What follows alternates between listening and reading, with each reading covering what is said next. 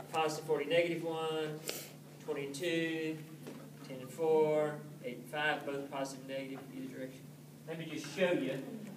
Let me show you what the possibilities look like. That's right. There are your possibilities. Each one of these binomials, the first two multiplies, you get 6x squared on every one of them. And the last two multiplies, you get negative 4 on every one.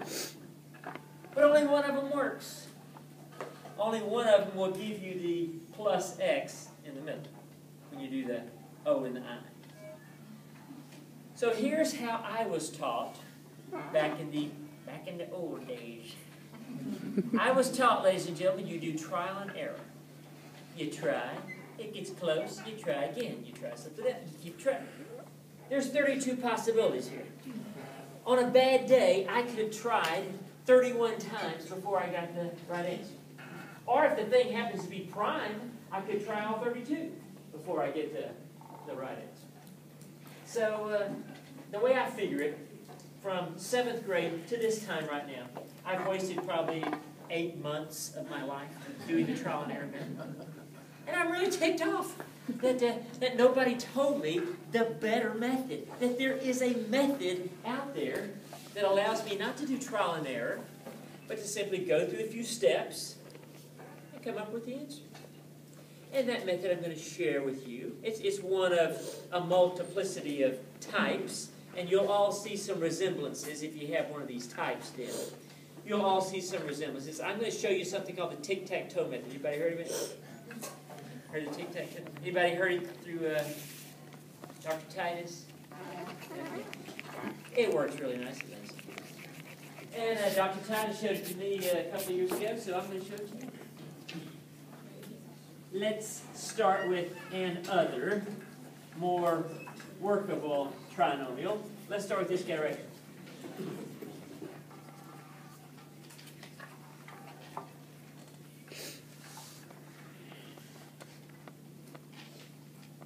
Okay, we did the lights. Thank you so much. All right. Tic-tac-toe method. I promise you, you will not remember this if you don't write it down. This is not one of those things that you go, oh, I see. That's, that's obvious as to how you do it. It's not obvious. It's got some very specific steps, so please write it down. Once you're going to just, once we do it the first time, you're going to go, well, that's a lot of work to get the one answer. Uh-huh. But when you do it the second time, you go, oh, I see. It gets easier every time. It gets more obvious, more, it gets simpler every single time you do it. So it doesn't feel ponderous when you do it two or three times. All right. That's why it's called the tic-tac-toe method. There's the tic-tac-toe grid. Hey, see, it looks like fun already. Got a tic-tac-toe thing. Hmm. All right, here's the first thing you're going to want to do. You're going to want to label the coefficients of your terms based on the old quadratic formula. Remember that? Minus mm-hmm. b plus or minus all that stuff? But you, before you did the minus b plus or minus all that stuff, you labeled things a, b, and c. Remember that? You simply put the trinomial in standard form, that's x squared x is constant number, and you label these guys a, b, and c. a is the coefficient of the x squared, b is the coefficient of your middle term, the x's, and c is your constant now that's not hard, but it's going to be essential to do what we're going to be doing. So label A, B, and C. Advise you, I'd actually write them down because we don't go in order with what we're going to do. Step number one. Takes care of the top row. This is number one. Step number one labels these A, C, and AC.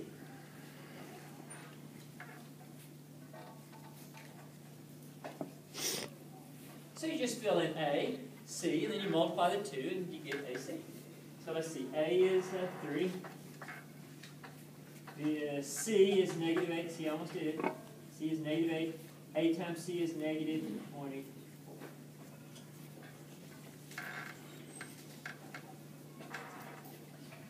All right, step number one. A, C, A, C. Step number two goes down this row. And this is the only step that will actually require you to burn some mental calories. You're actually going to have to think for just a second on this step, all right? Maybe not too long. This is one of the I'm looking for two numbers steps. Two numbers whose product, needs multiply, right?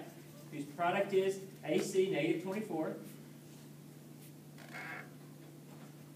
And whose sum is b. In this case, negative 2. So I'm looking for two numbers that multiply to give negative 24, and they add to give whatever b is, in this case, negative 2. Can you think of two numbers like that? You can think of them. What are they? Did you think of them? That's it. Negative 6 and positive 4, right? Two numbers whose, whose product is negative 24. Got some options there, 3 and 8, 4 and 6. Ah, but you add them together to get negative 2. Negative 6 and positive 4.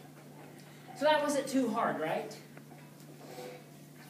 And you can put them in either place. So you get your signs, right? The sign, the negative goes with the 6. The negative 6 and positive 4, and it doesn't matter where you put it. You can put 4 and negative 6 if you want. All right? That's the hard, the, the quote, hard step. That's the only one that requires you to actually reason and think. All right. This uh, next, number three, goes down here. Step number three. And I want to factor A, which by the way is 3. So the factors divide evenly into the far right numbers.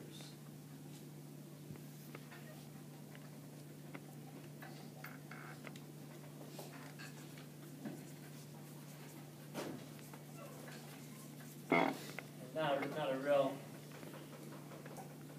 succinct way to say that. But I want to factor 3, and it factors in limited ways, right? Either 3 and 1 or 1 and 3.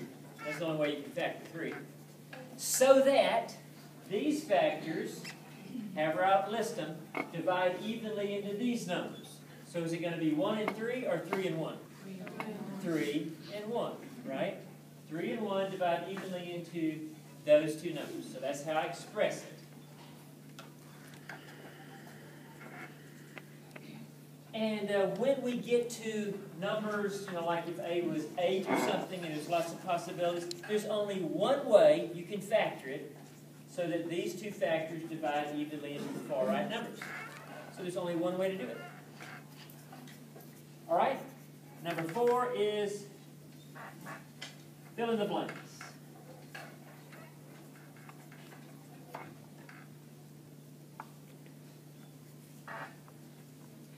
Now notice, if you will, every one of these rows and columns is a multiplication problem. 1 times 3 is 3. 4 times negative 6 is negative 24. 3 times negative 8 is negative 24.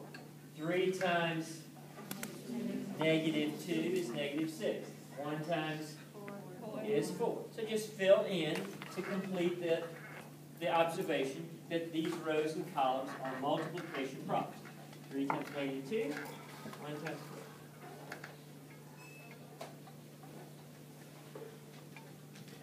Hey, we've completed the grid. We've done the tic-tac-toe, and our answer is right there. And here's how you figure. You, you crisscross, but you start on the left. So it's 3x plus 4 1x, or just x minus 2.